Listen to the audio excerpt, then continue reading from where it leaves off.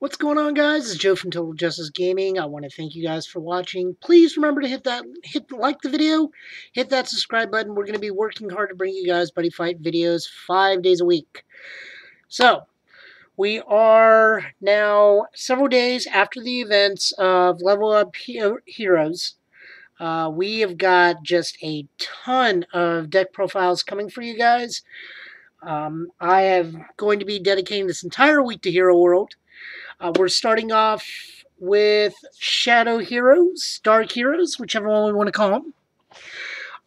We are going to be trying to shoot for two videos a week because I have just about every uh, Hero World deck made and almost all of them have been uh, either built or upgraded to where they all need profiles. So, we're jumping into one of my favorites, uh, which is the Dark Hero deck. I was very fortunate. I got the SP for um, Mukuro. I believe either myself or Ford pulled it. I can't remember which one. A lot happened in the box openings. Uh, we got like a total of 26 boxes. So, yeah. Uh, a lot of cards. But uh, we're going to hop into the deck profile. Uh, my buddy has been changed. We are now in the Black White Shadow Lord Mukuro is the buddy. Uh, we got our Mukuro SP uh, flag. I'm really happy about that, our secret flag. And we will jump right into this deck profile. So, naturally, as the buddy, we're going to be running four copies of Mukuro. I was very fortunate. I also got a hold of two Buddy Rares as well as the SP. This version of Mukuro is a 625, so he's a little weaker than uh, Successor Omni just by like a less than 1,000 defense. That's not too bad. I mean, that just means with the current power creep as we are right now, the majority of monsters can swing into Mukuro and deal damage to you. Um, however, at the end its ability is where this card really shines. At the end of a battle, this card, if you have no monsters on your field, choose a size 2 or less Dark Hero monster in your drop zone, and you may pay a gauge. If you do, Call the chosen card by paying its call cost. This ability only activates once per turn. On top of that, Mukuro has Penetrate, and his transform cost is now Pay Gauge, Pay a Life, as opposed to uh, Successor, which was Pay 2 Gauge. So I like him. He sets off a lot of abilities. Um, he's able to control the flow of battle because this can be used on your turn to deal uh, for an additional swing, or on the opponent's turn where we have newer cards that actually do trigger on the opponent's uh, turn. So we get a lot of uh, variety for this Mukuro. I really, really do enjoy him. We will just move on forward. I really don't have too much to say on him. Uh, other than I like him. He's the new buddy. He works out really well uh, I finally was able to take out the old Mukuros and replace him with it. So, moving on, we are going to be playing...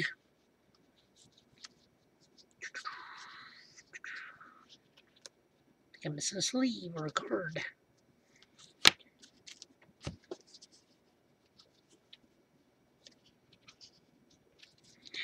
Uh, two copies of the old old buddy, which is uh, successor of the Omni Lord Mukuro. Uh, 626. Read them real quick. Uh, at the end of this battle, this card attacked. If you have four, four life or less or no monsters on the field, you can pay a gauge. If you do, stay on this card, destroy a monster on the opponent's field. Uh, this ability activates only once per turn. He, you can also transform into him for a cost of two. So he can swing in pretty well. He can defend a little bit better than uh, Black White Omni uh, Mukuro. It's back a little bit. And uh, he controls the board and has the ability to restand for a second attack. So we want to run two of him. I may bump him up to a three of. I just got to see how frequently I draw the Mukuros uh, to um, transform into them. But right now we're going to leave him at a two of. Just because we're still fiddling with the deck numbers. Uh, deck testing has been pretty good thus far. I don't really need too many to transform into, but since Uh, neither one of them, both of them can be destroyed by item destruction effects. Um, I still want to, I'm still trying to figure out what the final number for this Mukuro is. So right now we're running him at a 2 of, it'll possibly bumped up to a 3. Next up, we're running 3 copy of the new Schwartz. Uh, the new Schwartz is very, very deadly. So he is an 823. Uh, Call cost is discard a hero and pay to gauge. That's a bit of a cost, but it's worth it in the long run. When this enters your field, choose a monster in your opponent's field and destroy the chosen card. If this enters the field during your opponent's turn, instead nullify the chosen card's abilities and destroy that card. At the end of the battle of this card, you may return this uh, to field to your hand, and Schwartz has double attack. So for pitching a card in two gauge, you get uh, field uh, field control by blowing up a monster. On top of that, if it comes into play via the new Mukuro, you can nullify uh, monster's abilities and blow them up, meaning this can blow bots on the opponent's turn. That's very important. Uh, he also has double attack, and he hits for really decent numbers at an 8. So, all in all, I really like him. Right now, he's sitting at a 3 of. I think it's important to be able to get him as quickly as possible, especially for this new ability of being able to come out on the opponent's turn. So, again, we're running them out of 3 of. Moving into the size 1s, uh, we're running 4 copies of Sacrifice, Iron Moon Slash. Uh, Iron Moon Slash uh, replaced... Um, uh, the scar. The reason for that is is he hits for numbers at a 623. We're always going to try for a 5 or 6 attack uh, for our primary attackers. On top of that, you can pitch a card from your hand to deal a point of damage, so that speeds up their uh, life loss getting to the floor. That way you can Infinity Death Crest a lot quicker and plus he destroys himself at the battle of the end turn, so you can uh, chain his destruction off of with another spell in the deck. So I'm running him out of 4 because he's our new primary attacker since he can hit those numbers that we need. And the burn is just a nice little bonus. Following up, running three copies of SD Schwartz. Uh, I know I need to be running four of him. Unfortunately, I'm only able to have three right now. They're a little hard to come by. Uh, he's at a 3-2-1. Uh, when he enters the field, uh, I can discard a Dark Hero from my hand. If I do, I can gauge 2, and then at the end of the battle, uh, he returns back to hand. So, gauge acceleration for a simple discard. Uh, he doesn't hit for the numbers we like, but he's an SD form, so that's not uncommon. SD forms are usually at least half to a quarter of the uh, normal monster forms attacks from what I'm seeing. So I'm running him out of 3 of because I just need the gauge acceleration. Uh, I don't need heavy gauge acceleration, but uh, with FC Schwartz return to hand, I'll always have at least two. Following that up, uh, we're running two copies of Weiss. Weiss is definitely needed in the deck now because there's a lot more item focus uh, coming back into the meta again with uh, Thunder Empire always needing weapons for stuff. Um, I'm fairly certain we'll be seeing more items when Dual Golem comes out. Uh, that upcoming Chaos weapon deck will be coming out, so we need item destruction for that. Uh, Oni has weapons that we need to get rid of, so Weiss is very much needed now. Uh, he sits the same stats as SD Schwartz, but he's more for utility than attacking. His call cost is pay gauge. Uh, when he enters the field, I can discard a Dark Hero. If I do, I can destroy an opponent's uh, item, an item on the field. And then, again, like all Schwartz, uh, since I believe he is Schwartz's brother or uh, troop member, I'm not sure what the story on Weiss is. We'll just say brother. Um, he pops back to hand after the end of his attacking. So you have reoccurring item destruction, which is, again, very necessary in this meta. Uh, following up, we're looking at one of the newer cards, uh, Grey Wind Vent, or Vent, uh, 311. So he's a little lackluster in terms of uh, field presence, uh, in terms of damage. Uh, however, he's still likewise, he's much more of a utility card. So, counter during your opponent's turn. If you have no monsters on the field, you can call this from your hand. Uh, when this card enters field during your opponent's turn, choose a monster and pay a gauge. Uh, if you do, the chosen card gets minus one crit, and at the end of battle with this card, destroy it. Uh, I'm running him out of Fora because he is a very necessary utility card. Uh, I really stress trying to run at least three to four copies of him because being able to come into play on the opponent's turn, you're limiting your damage quite heavily. Uh, so potentially nine damage can turn into six damage, or four damage can turn into two damage. So it's very, very necessary. It's a very necessary card in the deck now. Uh, this allows Dark Heroes to not be the gla- as much of a glass cannon by being able to mitigate some of the opponent's damage output. So I highly recommend running him at least two, three, or four of. I'm going to be running him at a four of. Of course, since we need to, we're going to look at the zeros. The zeros are obviously Noble of Darkness Kill Knight. He's the primary card we always want to discard. Um, two and one, which are fine for size zero. Uh, when this card is put from your hand into the drop zone, uh, you can either gauge one or you can cause your opponent to lose a gauge.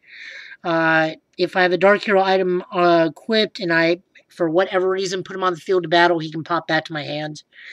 He's who you always want to try and pitch. So um, we're running him out of four of. Moving on, we're of course going to be running four Infinity Death Crests. Uh, this card lets you just steal games out of nowhere. Uh, I really don't need to emphasize too much on this one. Uh, gotta have a Dark Hero item. Gotta have four life. For opponents gotta be at four life or less or uh, if there are no monsters on my field, I just can have a Dark Hero item, pay 2 gauge, and deal 4 damage that can't be reduced. So, simple, quick kill method. Next up, for uh, we're moving into spells. Uh, we're going to be running four of the I've seen through your moves. This is our primary open center shield. Uh, this is just the shadow uh, the Dark Hero variant art, so I just slapped it in there. We're running it at fourth. Uh, Dark Hero Hideout, we're going to be running this out of 3 of. You can also run it out of 4 of. It's just personal preference on my thing. I see it enough getting it out of 3 of. This lets us continue to gain hand, uh, keep a hand presence since we're discarding cards so much. Uh, it's the set spell that says whenever I play Dark Hero, uh, I get to draw a card once per turn. I can only set one Dark hero, First Hero hideout uh, one at a time, meaning uh, it's got to be going up before I can set another one. Uh, again, this is personal preference on my opinion. I run it at a 3 of. I see no other decks run at a 4 of just to see increased consistency of getting the card. Uh, I'm running it out of 3 of uh, because all I need to do is get one and then the other two can become pitch fodder because it is it's uh, just necessary for pitching a card and drawing cards. Uh, next up, we're running three copies of He's of the Lowest Ranks. Uh, this chains with any of our cards that are destroyed. So if they happen to destroy a card uh, out of combat, or we have any of our cards that say they destroy themselves at the end of combat, we can trigger and go search for any Dark Hero monster or item in the deck and put it to our hand just for uh, having something destroyed. Next up, we're going with uh, three copies of I'm Finished With You. Uh, destroy Dark Hero on your monster on your field. Put Gauge 1 and draw a card. Uh, you can only cast this once per turn. Again, we have monsters that uh, are going to get destroyed, so let them be destroyed for a bit more profit. We're going to be running this out of three of. We're running, going to be running now two copies of a new card. Uh, I've waited for this moment. Uh, you can only cast this if you have no monsters on the field. Uh, pay gauge, pay a life, destroy a monster on the opponent's field. Very, very good because it's just a gauge and a life. If you don't have any monsters on the field, that's very easy to achieve in this deck. On top of this, uh, there is no size restriction for the kill condition, so you can kill size 3s. Uh, this helps you control the battle a little bit against such decks as Chaos or any size 3 focus deck. Uh, very easy conditions, good spell. I'm just going to be running it out of two of right now. Following that up, uh, two copies of Stop right there. This is the uh, Hero World equivalent of Snake Gaze. Um, you may only cast this if you have no monsters on your field. Again, a very easy condition to fulfill with um, Dark Hero. Uh, pay gauge, pay life to use it. Uh, counter uh, rest of monster on your opponent's field. So this is the Dark Hero version of Snake Gaze. I believe that you can also use this very easily on uh, in the Satsuki deck, so expect to see that on uh, the Satsuki uh, decks too, maybe. I'm not sure, that's just conjecture on my part. But we're running this out two of. And then our final two ofs is also the dream I had went. Uh, this is the pay two nullify spell. So if we're going in for the kill or they cast anything for like a shield or something, we are able to prevent it. And that is the deck. And of course, now that we've run through the deck, I find that third piece of Mukuro. So guys, we are running three Mukuro, three Shadow Mukuros. It just got stuck to a card. I apologize for that. But uh, we are running three uh, successor of the Omni Lord Mukuro. Alright guys, so that is my version of Shadow Heroes that got upgraded. Again, thank you guys for watching. Uh, we'll be back a little bit later, either today or this week, because we're going to be plowing through all these uh, Hero World decks. So we, again, please like, subscribe. We love hearing you guys' comments. I want to thank you guys for watching Total Justice Gaming. Have a good day.